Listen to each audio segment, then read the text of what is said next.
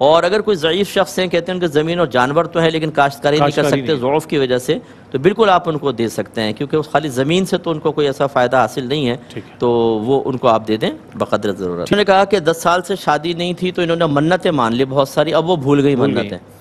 देखें वो मन्नतें तो उस वक्त पूरी करनी थी जब आपकी मुराद पूरी होती क्योंकि आपने मशरूत किया होगा कि अल्लाह ताला औलाद होगी तो मैं ऐसा करूँगी।